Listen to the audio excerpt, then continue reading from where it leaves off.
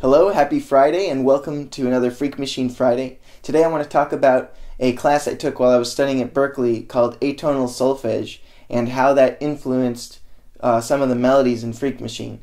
So, typically at Berklee, you take four semesters of ear training, and then after that, you have four semesters of elective ear training, which you can choose to take ear training or not, and there are a lot of different types of ear training you can take in the four core semesters, the ear training that you do is mostly uh, using solfege, which is a it's like do re mi fa sol la ti do. It's giving verbal uh, associations to each note of a major scale, and then from there you're able to learn to sing between all these notes and hear between all these notes by establishing a muscle memory connection between how it feels to go do re and how it sounds to hear mm mm.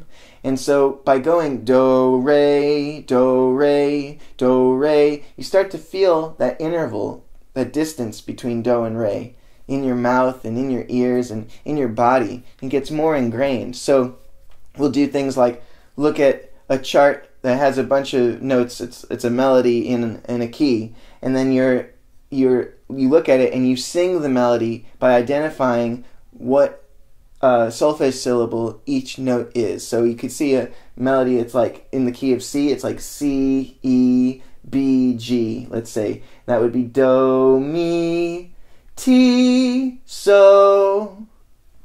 And so then you'd be back at do. So do to mi, that's a major third, and you learn to identify that do mi. And then ti, that's the seventh do, re, mi, fa, sol, la, ti, number seven. You get to have a good ear for where all these notes fit in a scale. And then you can start changing keys and doing all this stuff with that tool set. But after you get that down and like really work really hard on that for four semesters, there's a class called atonal solfege that you can take. And what you can do, what basically what that is, is that's a class for identifying, well, what do you do when you're trying to hear melodies that don't fit in any key? This example from before, do, mi, ti, so, that that was considering C to be do. That was saying, well, do is C, and everything is going to be heard relative to C. We've got C, and then we hear the relationship between C and mi, and C and ti, and C and so, me, and Do and So, Do, Mi, Do, Si, Ti, Do, So. You see, those relationships all have to do with Do. But if you're not in any key, there is no Do. There's no tonal center. And so what we do is we got this book called Modus Novus. Mine has been thoroughly used, so you can't really read uh, the cover, but it says Modus Novus. And what this is, is it's a bunch of reading examples that you're supposed to sing that don't fit in any key at all. And as a result, you can't call anything do, you can't call anything mi. There's no do to relate to. So you just have to sing the notes as they appear. And each chapter is divided by intervals. So there'll be a chapter where everything is minor seconds and perfect fourths. So a minor second is a half step, so like C to C sharp, and perfect fourths like C to F. And so this first line here, it's I'll, I'll just put it on the screen. It's A, B flat, A flat. And so what you do is you go get your guitar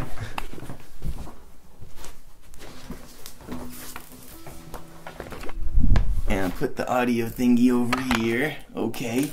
So you play an A. And that's wah, wah, or ah, or na, woo. Whatever sound you want to make for it. Meh. And then it says B flat, A flat. Okay, so now you have to say, okay, mm, A, and then B flat is a half step higher than A. A, and so then you have to sing A to B flat, A, B flat, ah. And then the next note is A flat. You say, okay, well, A flat is a whole step down from B flat. Ah. And then the next exercise would be something like, ah. And there's no key, there's no tonality to work with. There's no do, there's no re, there's no mi. So you learn how to sing all these atonal melodies. There's chapters and chapters of it. So if you ever really want a crazy challenge, get the Modus Novus and try learning to sing these exercises. It's, it's really hard. Or at least it was really hard for everyone. Well, most people in my class. It was, hard for me. Na, you know, there's just all kinds of crazy, crazy melodies in here. And so while I was learning this this class, where basically our assignment each week would be to uh, go home and and learn a whole chapter's worth, which would be like eight or nine melodies, um, and come in and sing them in class. And the test would be to make to see if we start and end on the right note, and then you have to nail everything in between in order for that to happen. Um, so while I was taking this class, these melodies were getting stuck in my head, and I started hearing really strange or new sounding melodies for my ear. And so I was writing Freak Machine while I was taking this class, and uh, and I started hearing melodies like na na. na.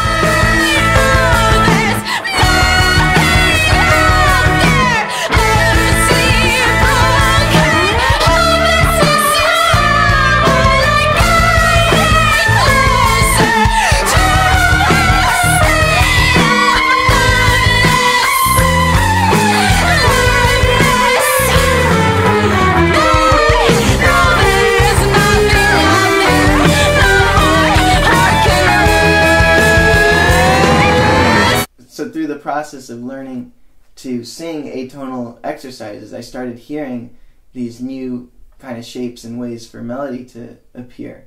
So I I think it's just worth taking some time to learn about sight singing in general. You don't want to start necessarily with atonal sight singing, uh, but learning to sight sing is a great way to get new melodies and a new way of conceiving melodies in your head so that you can hear a melody and identify it and then perform it on whatever instrument much easier. But there's just an example of how uh, some ear training stuff really influenced my writing.